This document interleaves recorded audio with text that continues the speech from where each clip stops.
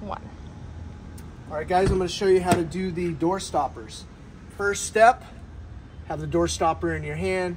You're going to have this part towards your van. Not this way, it won't work this way. It's got to be this way. Second thing I'm going to do is I'm going to open my door all the way up. And I'm going to take this part and I'm going to put it on the other side of these two bolts. Okay? I'm going to hold the door open. I'm going to put it there. And then I'm going to take this part here and I want to push it in between these two bolts. So I'm gonna push this, I'm gonna push that just like that. I'm gonna hold it with my hand, I'm gonna grab the door, and I'm gonna close the door slowly until it hits the stopper. And that is it.